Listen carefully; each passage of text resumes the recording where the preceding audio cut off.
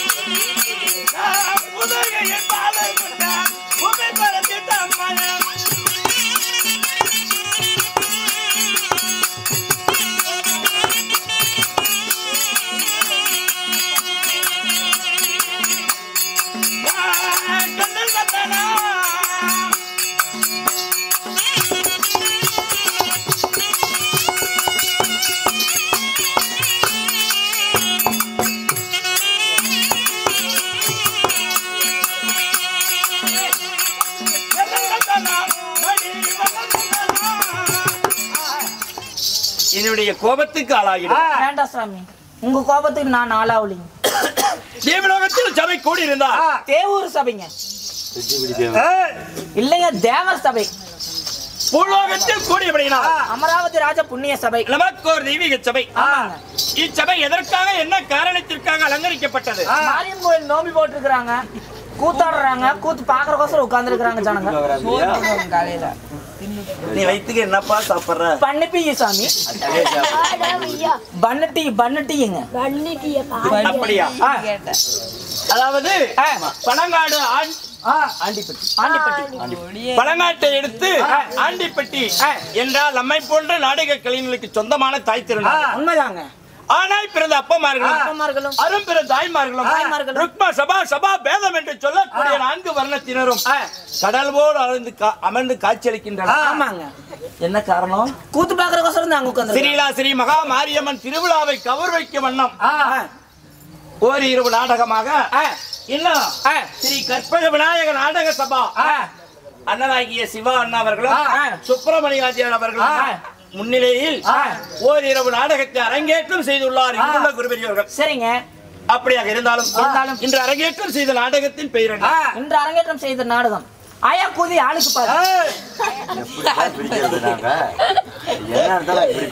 எத்தனை பாகம் போட்டு பிரிக்கிறதுன்னு கேக்குறீங்க.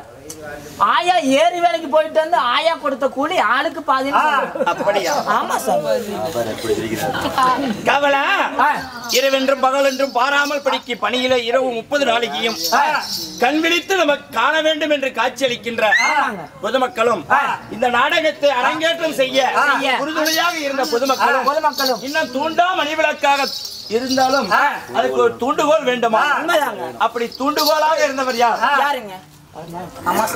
அம்பாசி ஐயா அவர்களும் அவர்கள் குடும்பங்களும் நோயற்ற வாழ்வு குறைவற்ற செல்வங்களும் பெற்று பெற்று. அவரவர் செய்யும் தொழிலை மேன்மை முன்னேற்ற வளர்ச்சி நல்ல வருமானத்தை கொடுத்து. குழந்தைகளுக்கு நல்ல ஆரோக்கியத்தின் சிறப்பான கல்வியும் கொடுத்து. போக்குவரத்தில் யாதொரு இடையூறுமின்றி சீரும் சிறப்புமாய் பல்லாண்டு கால வாழ சாத்தகி சாமி பகவானே. இன்று அரங்கேற்றம் செய்த நாடகம் என்ன? இன்று அரங்கேற்றம் செய்த நாடகம். என்ன நாடகம்? நேத்து என்ன ஆடு ஆடணும்பா கருமாரி அதே தாங்களா அதே தான் நாடகங்க. அப்படி அல்லப்பா ஆ, தான நாடகம் அதில்ரா. இருட்டறையில் முரட்ட குத்து அதாவது வேதங்கள் நான்கு. என்னங்க வேதங்க? ரிக் யஜுர் சாமம் அதர்வனம் என்று நான்கு வேதத்துக்கு இணையான ஒரு வேதம். என்ன வேதங்க? ஐந்தாவது வேதமாக விளங்கக்கூடிய பாரதம். ஓ ஐந்தாவது வேதம். பாரதம். உண்மைதான். சரிங்க. ஸ்ரீ மகாபாரத்தில் ஒரு பாகம். ஆ, அதாவது பாதாள அரக்கன் சண்டை பாதாள அரக்கன் சண்டை. இல்லையே? இல்லையே? யாரு கல்யாணம்? அர்ஜுனன் போ- போகக்கோதி கல்யாணம். அதான் தலையில போக போவே வருதுங்க. கோபவதி திருமணம் என்று சொல்லக்கூடிய நாடகத்தை குருபிரியோர்கள் விருப்பத்திற்கு அரங்கேற்றம் செய்திருந்தாலும் செய்திருந்தாலும் நான் இந்நாடகத்தில் யார்? யாருங்க? என் பெயர் என்ன? என் பெயர் என்ன? என் விருத்தாந்தர்கள் என்ன? செவி கொடுத்து தாமதிக்க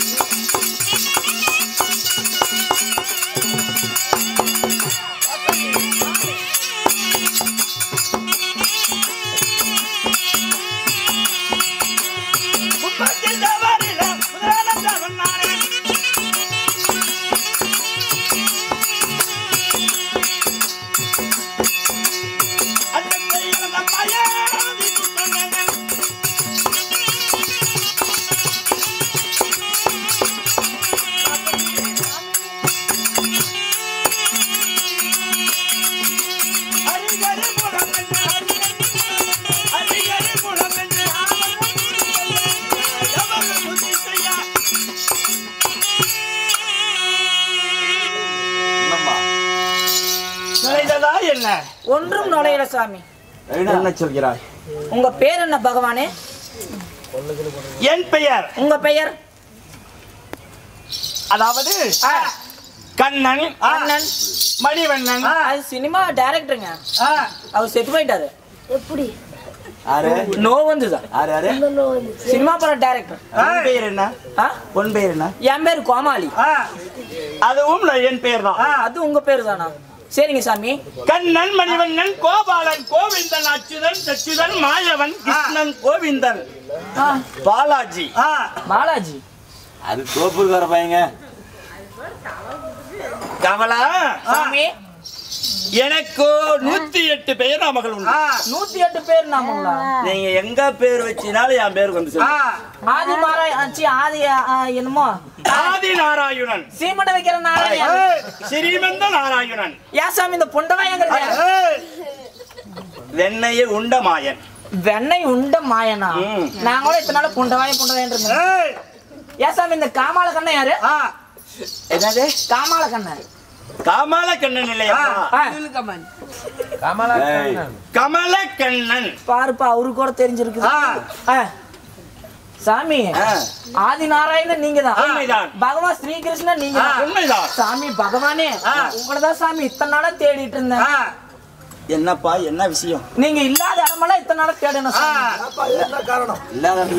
இல்லாத இடத்துல தேடினால் எப்படி பொருள் அகப்படும்?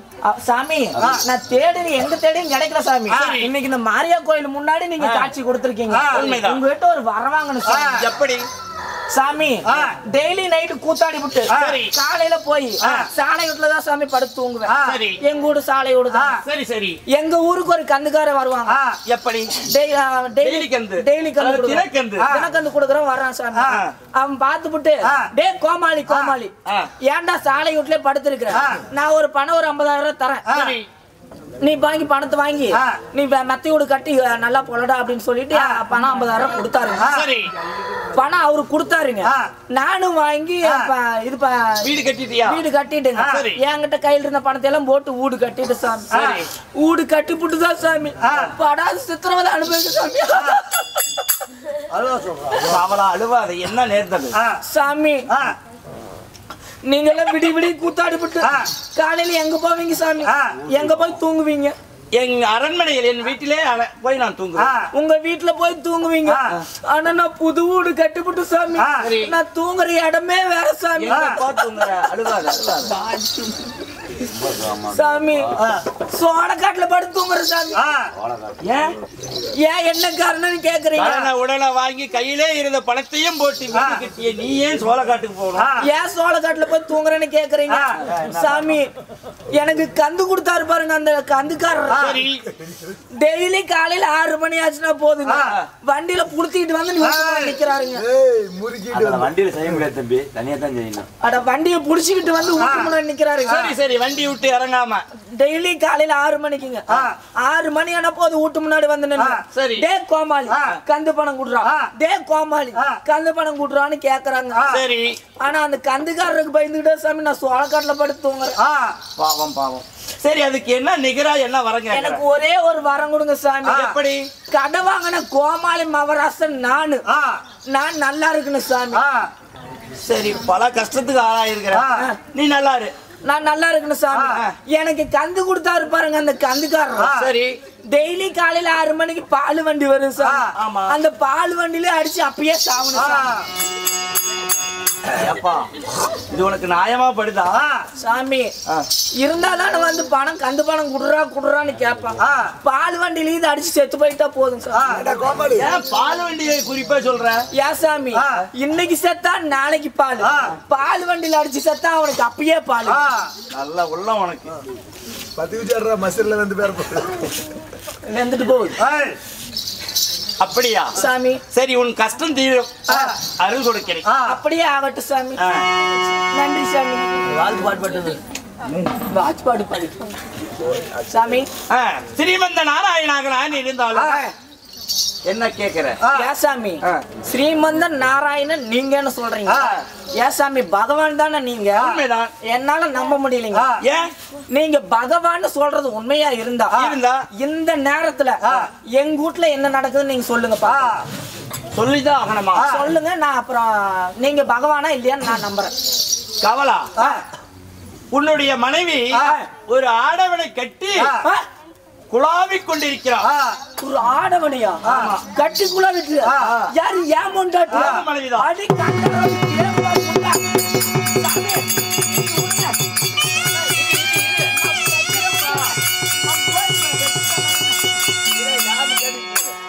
சாமி, இப்பயே நான் போய் மொண்டாட்டி அந்த கண்டாரோல முண்டை வெட்டி போட்டு வந்துடுறேன். ஒரே வெட்டா.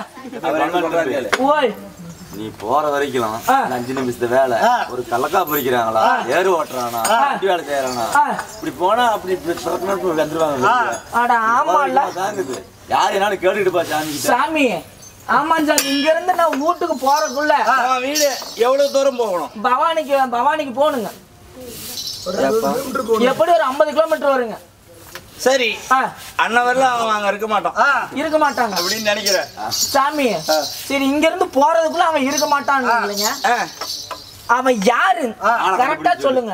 ஆளை மட்டும் சொல்லுங்க. காலையில போய் அவனை போட்டு தள்ளி சரி ஒரு அடையாளம் கேட்கிறேன். அடையாளம் சொல்லுங்க. சரி ஆ, உனக்கு எத்தனை குழந்தைகள்? எனக்கு ஒரே ஒரு குழந்தை தான் சாமி. என்ன குழந்தை? ஆண் குழந்தையா பெண் குழந்தையா? எனக்கு ஆண் குழந்தை தான் சாமி. என்ன வயசாகுது? ஒரு இப்பதாங்க ஒரு ரெண்டரை வயசு ஆகுது.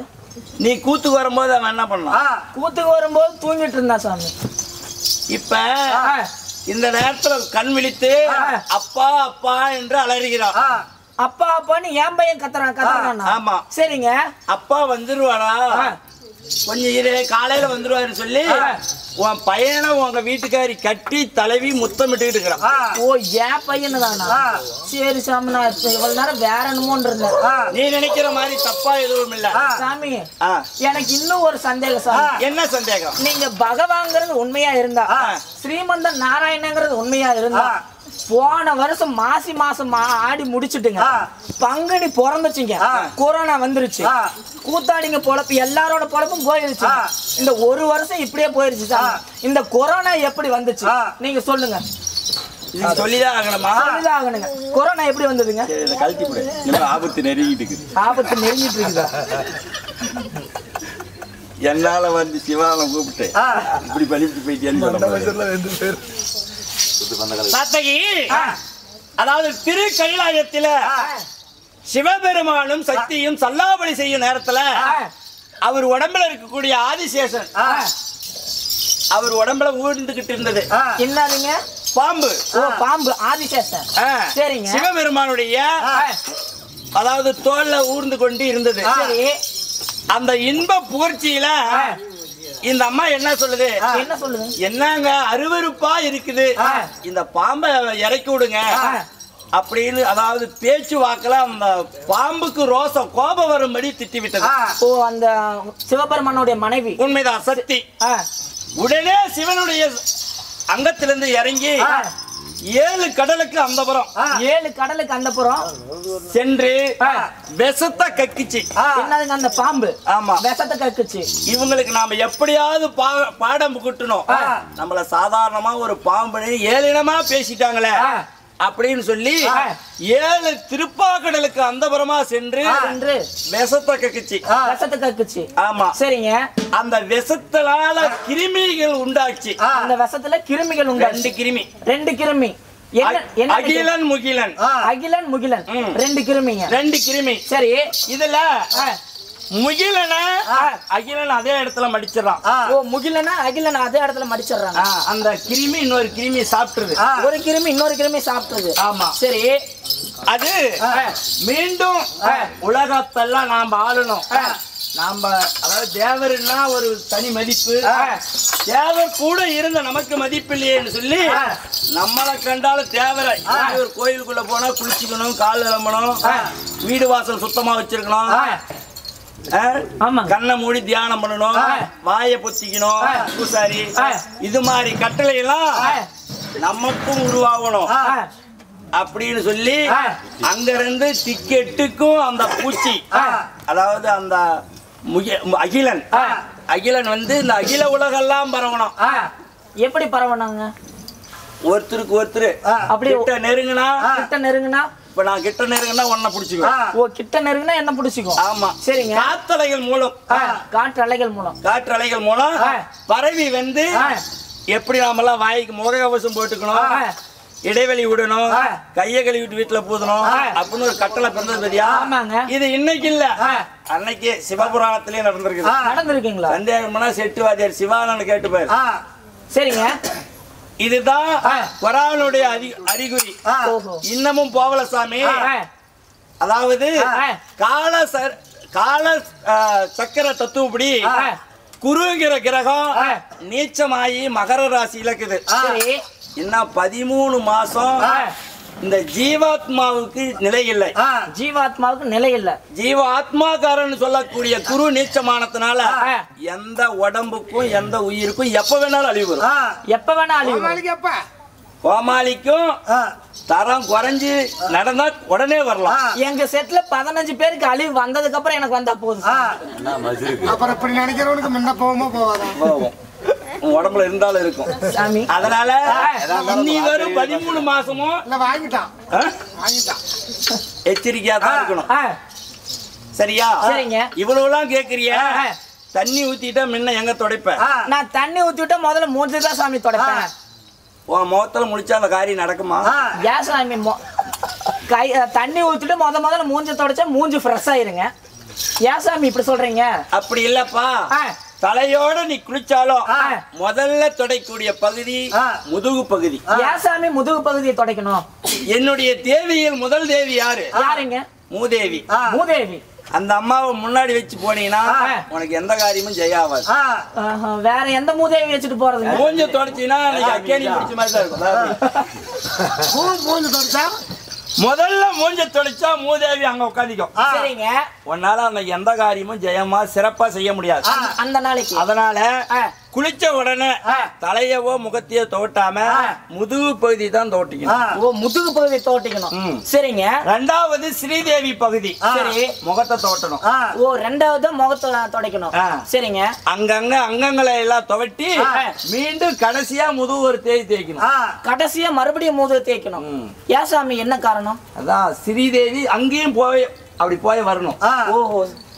போறவன் ஆறுப்பா கோமாளி ஆட்டங்குது அப்படின்னு முதுகு பகுதி பார்த்தாலும் அவங்களுக்கு ஒரு யோகம் இருக்கும். முதுகு பகுதி பார்த்தாலும். அதனால. இன்னையில இருந்து குளிச்சுக்கிட்டா முதல் தோற்ற பக்கம் முதுகு பகுதி. சரி சரிங்க. காலத்தால மறந்த ஒரு செய்தி உனக்கு நினைவுக்கு வரணும்னா பின் பகுதி.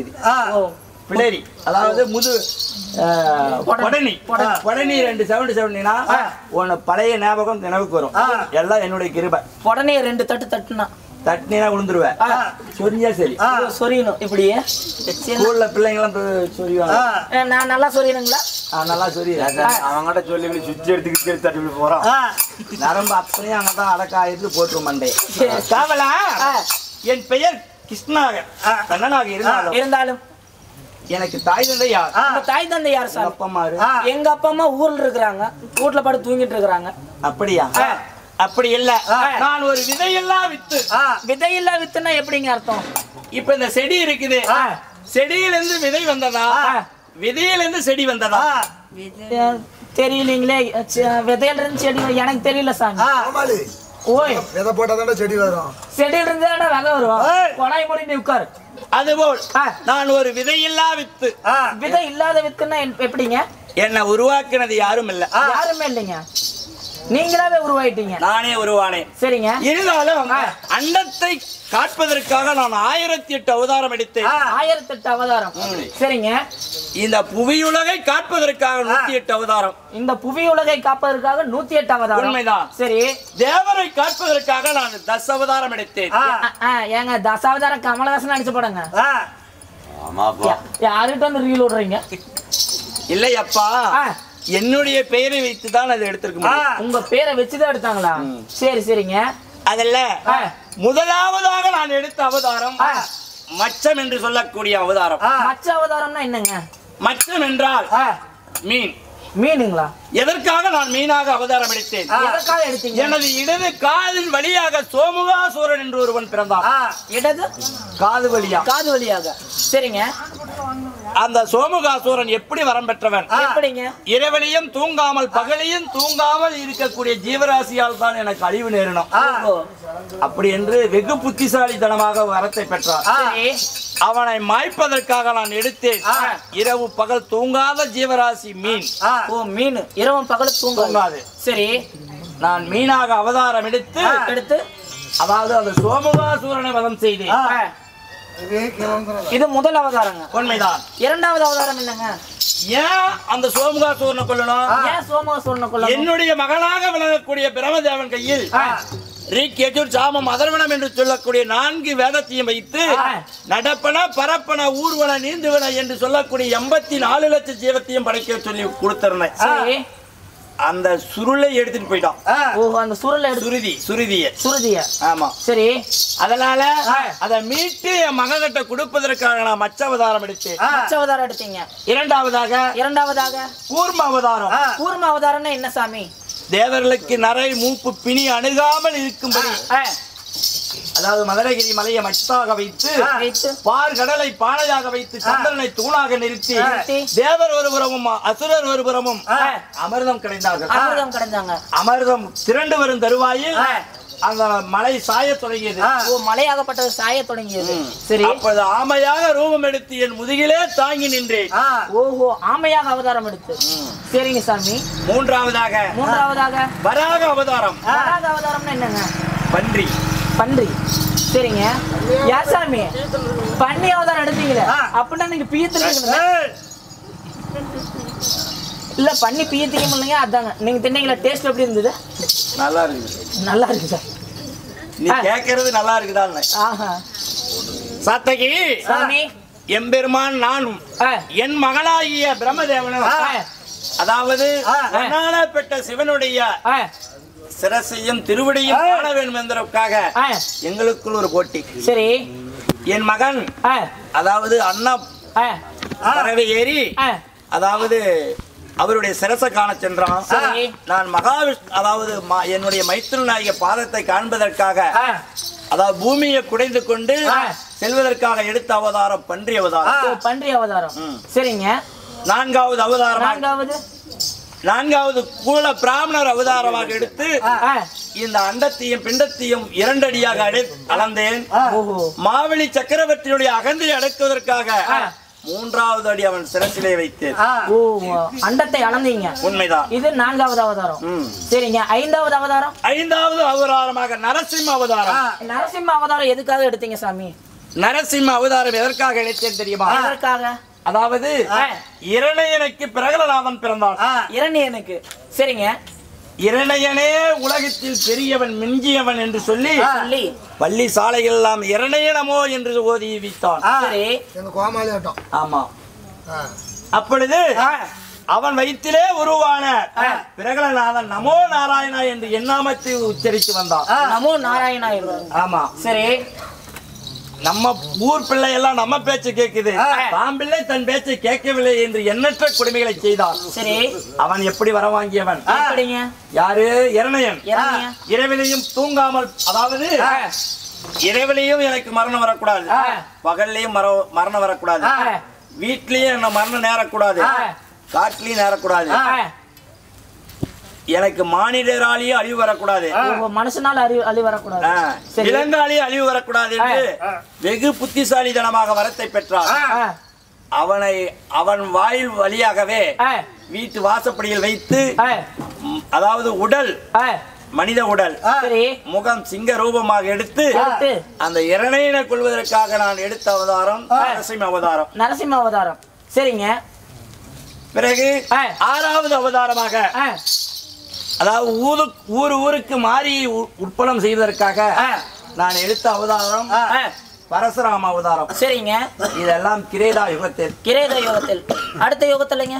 திரேதா யுகத்தில் அதாவது ராம அவதாரம் பலராம அவதாரம் சரிங்க. எடுத்தேன் ஆ, துவாபரி யுகத்தில. அதாவது கண்ணனாக ஒன்பதாவது அவதாரம் எடுத்துள்ளேன் ஒன்பதாவதாக அவதாரம் எடுத்திருக்கிறீங்க. ஆமா. சரிங்க. இந்த யுகத்தில் எனக்கு யாரு தாய் தந்தை? இந்த யுகத்துல யார் உங்களுக்கு தாய் தந்தை? இந்த அவதாரத்தில். இந்த அவதாரத்துல எப்படி பிறந்தீங்க? அடுத்ததாக எடுக்கக்கூடிய அவதாரம் கல்கி அவதாரம். கல்கி அவதாரம். எப்ப எடுப்பீங்க அது? கலியுகம் பிறந்து விட்டது. நான் அதற்கு ஆயத்தம் ஆகிவிட்டேன். சரிங்க. அநியாயத்தை அதிக பரப்பி ஆ, நியாயத்தை குறைத்து. எல்லாத்தையும் அழிக்க போறேன். எல்லாத்தையும் அழிக்க போறீங்க. முதல்ல எங்க செட்டு வாதியார் சிவா வலிங்க. அந்த ஆளு பண்ற அயோக்கியத்தனம் ஏகப்பட்டதுங்க அப்படி இல்லை அப்பா ஆ, நல்ல தான். நல்ல மனுஷங்க சரி. இந்த ஒன்பதாவது அவதார- அவதாரத்தில். என் தாய் தந்தைகள் யார்?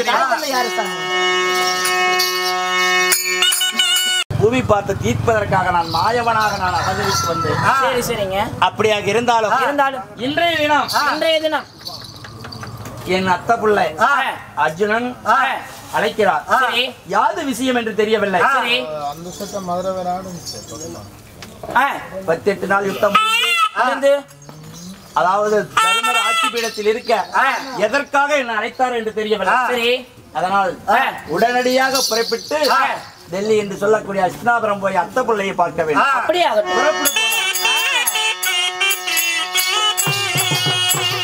இதுவரையும் நம்ம சேனலை சப்ஸ்கிரைப் பண்ணாதவங்க சப்ஸ்கிரைப் பண்ணிடுங்க நம்ம தெருக்கூத்து வீடியோ உடனுக்குடனே உங்களை வந்தடைய. பக்கத்தில் இருக்க பெல் பட்டனையும் கிளிக் பண்ணுங்கள்